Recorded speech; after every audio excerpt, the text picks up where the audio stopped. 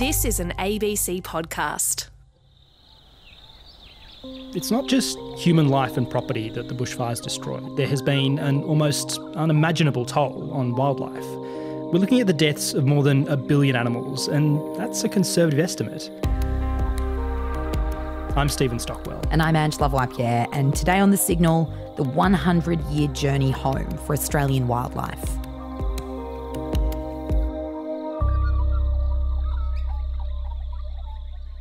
I've got a wombat in front of me, uh, a little girl who came from the fire grounds.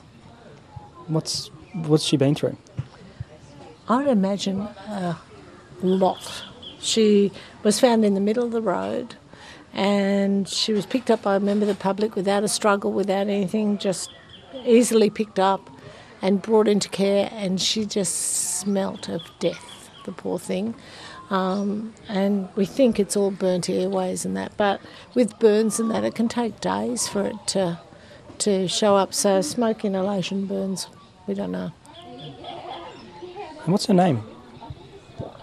Wanda, the wandering wombat from Wandandian. I mean, that's an adorable name by any standard, but not even alliteration can take the edge off that kind of misery. Um, where were you? Uh, that was at Sydney Wildlife Rescue, about 40 minutes north of the city. Mm-hmm. And Wanda was in Joan Reed's arms. So Joan's the founder of that group. And she was kind of holding her like a child and feeding her formula from a bottle. Right, along with a whole lot of other injured animals, I'm betting. Yeah, yeah. There's a, there's a few around. I just want to explain where we are 1st mm-hmm. This is our um, uh, rehabilitation facility for Sydney Wildlife Rescue. Sorry. Um, it's the smoke from being down at the fires. It's upset my throat.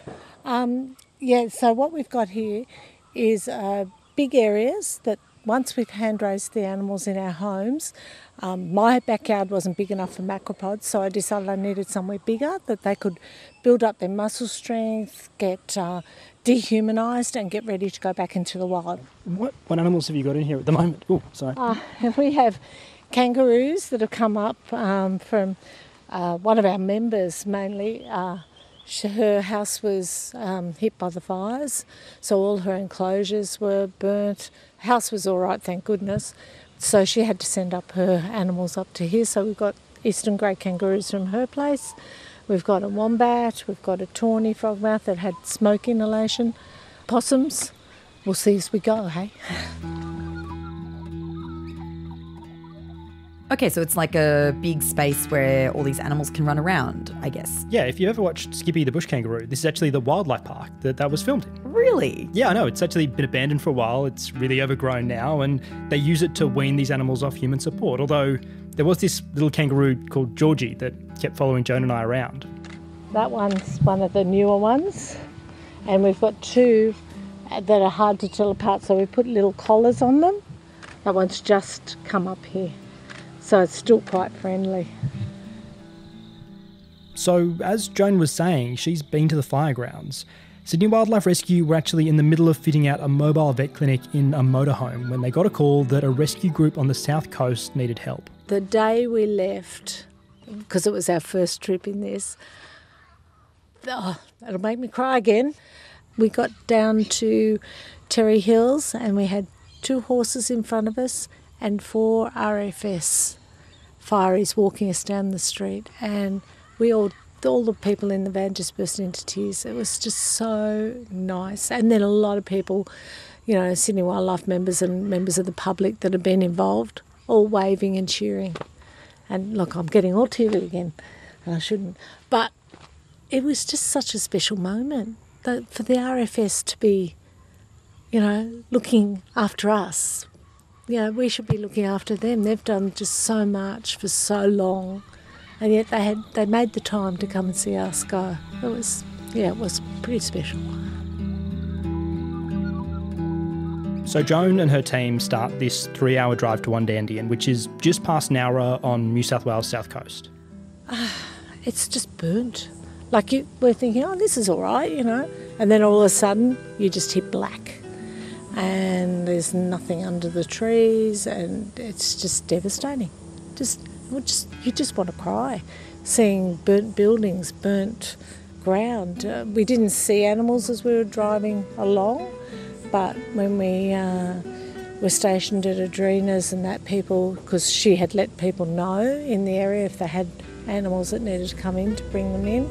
So we saw kangaroos, echidnas, wombats, snakes. Uh, I think there was a lot of um, kangaroos with burnt feet, obviously. You know, sad. What sort of injuries did you did you see on the animals? So the kangaroos had the burnt feet. What what else were they coming to you with?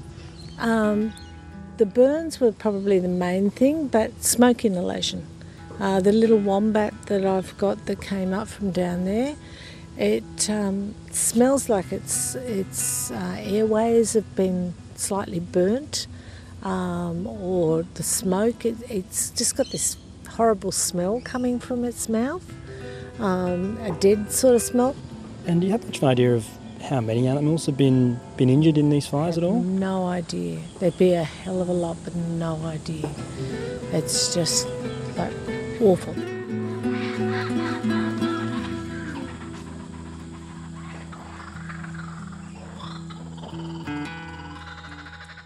So the animals that have been really badly affected by these fires, you know, in, in the kind of most serious cases, where do they tend to go next? Um, it depends what you mean by most serious cases, but the ones that are going to be hand raised uh, come home to people's houses, whether it's down there or up here, um, and they get hand raised because you know you just need to look after them um, and care for them.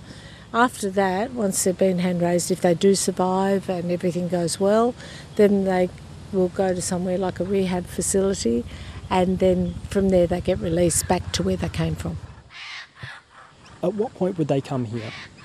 Um, it depends on the species, but they all have to be self sufficient, as in eating and drinking by themselves.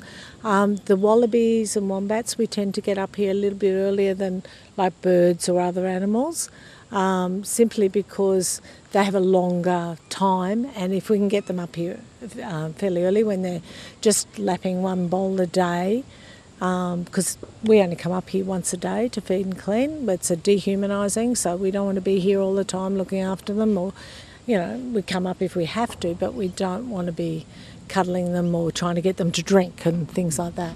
So yeah, uh, they come up and they'll be on one bowl a day, just to, so they'll settle in and still use their pouches. It makes it easier on them. Um, birds, obviously, they can come at any time. Kangaroos we get at any time, and wallabies because they're injured. But if we're doing it from home, that's when we'll bring them up. How long until you know the animals that you've got here that have been affected by the bushfires can be released back into the wild? Oh, it could be six months or more. You know, you've got to realise that the food has to have grown. We have to have had rain. There needs to be grass and fresh browse on the trees, you know, fresh leaves and things, flowers for bats, uh, you know, and, and possums.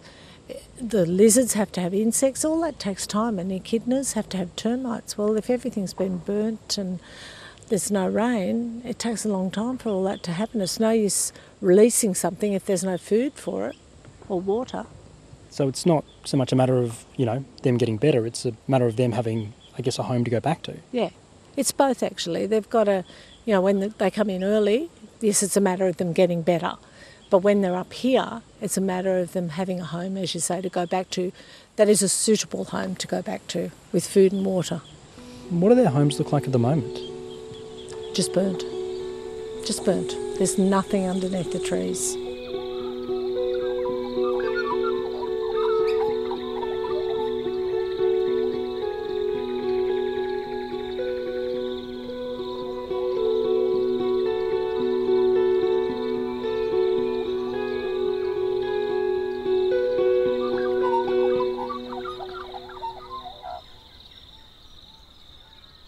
The best of our knowledge, how many animals have been killed during this summer's bushfires? The the estimates really start at over a billion.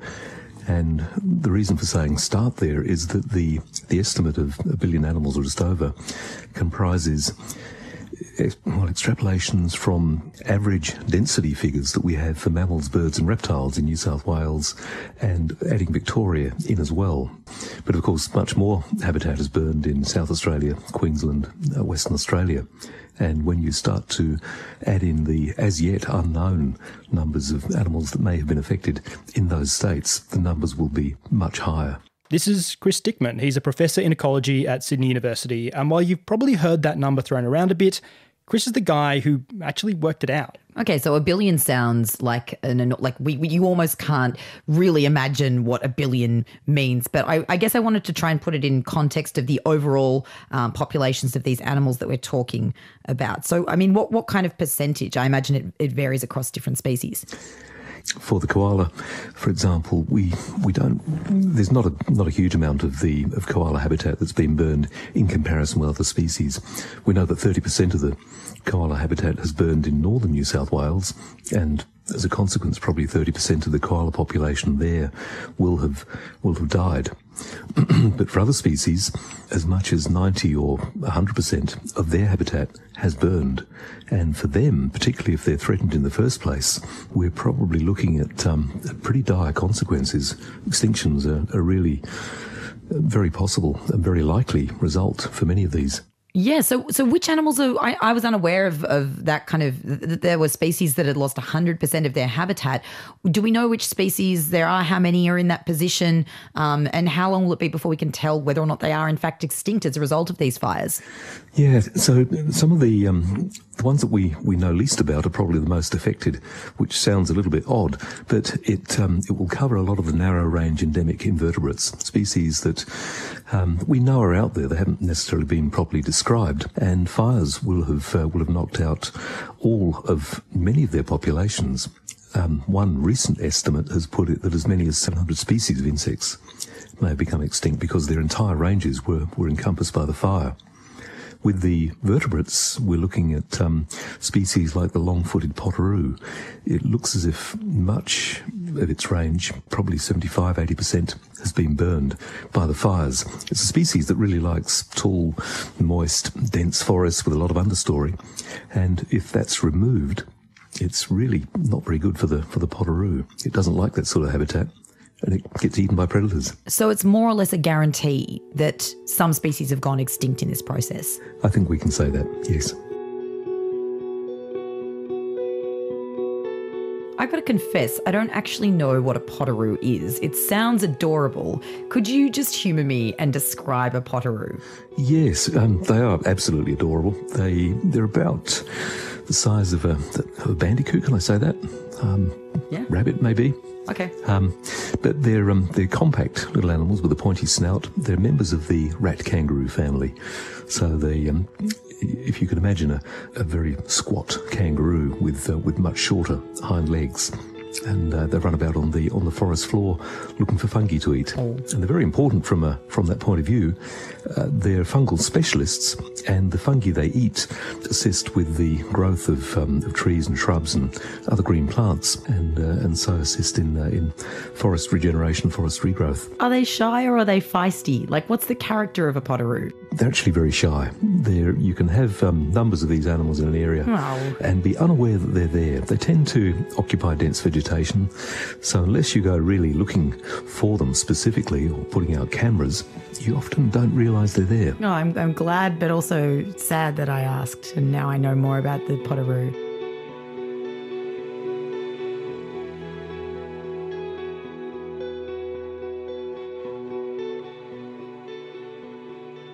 So the government has so far committed $50 million to uh, this problem, to the wildlife recovery task. Is that enough? I think it's a great start and it'll help to, I guess, look after the animals that have come into care, the injured animals, the singed animals that have been brought in by the, by the firefighters and people at the front. Probably for the longer term, we'll need a lot more. So the estimates of, um, of a billion animals that um, that have been killed by the fires, they they are really estimates that have been derived from average density estimates.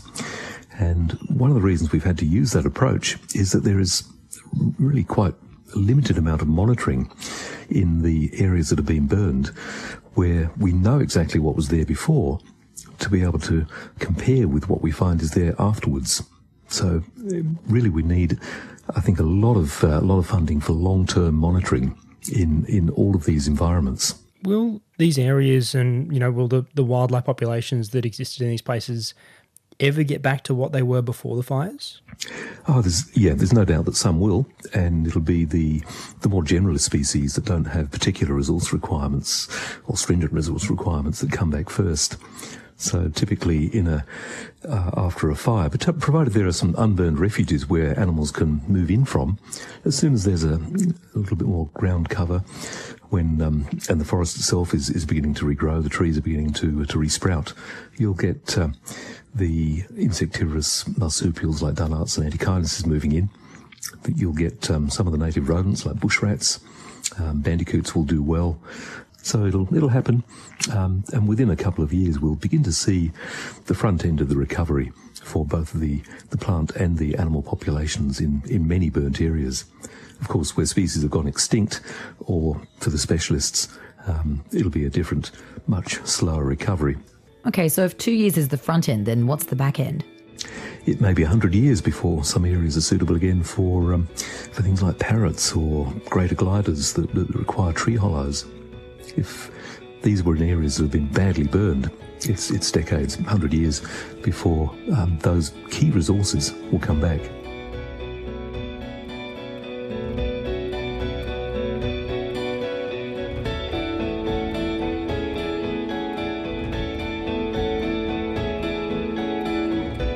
That's it for today's episode of The Signal. Uh, if you want to listen back to any of the episodes that we've done this year, we've been recapping a lot of the big stories that kind of happened over the summer. You can check them out on your favourite podcast app. And we'll be back in your feed tomorrow. We'll catch you then. Bye. See ya.